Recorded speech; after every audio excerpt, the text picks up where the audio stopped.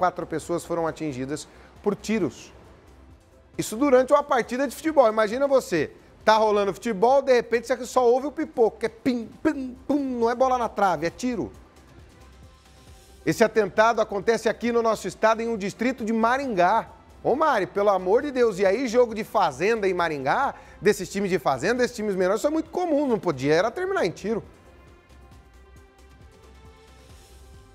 Exatamente, Ivaroli. Muito preocupante essa situação, né? Então, isso aconteceu no distrito de Guatemi, aqui pertinho, distrito de Maringá, na tarde de ontem. Então, estava acontecendo um campeonato de futebol, quando de repente, como você mesmo falou, Riva, as pessoas ouviram os barulhos dos tiros. Então, segundo testemunhas, três criminosos teriam atirado em dois rapazes e ainda esses tiros teriam pego de raspão em outras duas vítimas. Então, ao total, quatro pessoas foram vítimas, foram acertadas pelos tiros. Então, a gente tem até imagens imagens de câmera de segurança, na verdade, essas imagens não são de câmera, na verdade são de pessoas que estavam ali que viram os criminosos, dois deles fugindo. Então, lógico, a gente percebe que eles estão de balaclava, mas esses vídeos com certeza vão ajudar a polícia a tentar identificar, a tentar ir atrás e entender por onde que esses criminosos fugiram. Mas então eles teriam ido até esse local, até onde estava acontecendo esse futebol, esse campeonato de futebol, e para matar dois rapazes. Segundo Segundo testemunhas, eles até pediram para as crianças saírem do parquinho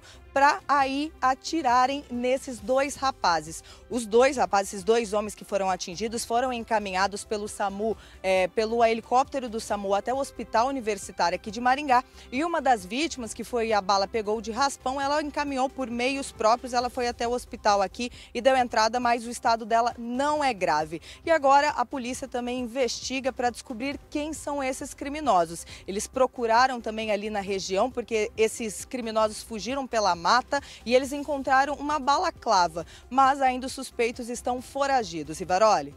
Rapaz do céu, imagina você estar tá no futebolzinho, naquela tranquilidade, criançada junto, porque é assim mesmo, né? Famílias inteiras nesses jogos aí é, é, na região de Maringá. Tem muito time aí na cidade de Maringá, o povo gosta. De repente você começa a ouvir tiro e ver bandido correndo com balaclava, tudo, com o rosto tampado e com arma em punho. Olha lá, ó. Olha lá, dois passando ali perto do, do, do, ponto de ônibus, o camarada passa correndo com a arma em punho. E dá para aparentar ali na mão dele uma pistola, né?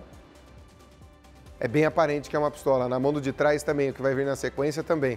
Gente do céu, mas o que, que é isso? As coisas estão completamente fora do controle, mas completamente fora do controle. Pai, tá difícil ser policial hoje, hein? Vamos ser bem honestos, é muita coisa para resolver tudo está estourando na polícia. Já repararam isso? Que tudo estoura na polícia? Briga de torcedor é na polícia. Acerto de contas é na polícia. Eu não sei o que, é na polícia. Ah, ou entra na casa, é a polícia. Tudo é a polícia. A polícia está resolvendo tudo. É menor brigando, é a polícia. Aí é vizinho que briga, é a polícia. Tudo está descambando para a questão da, da segurança pública. É muita demanda.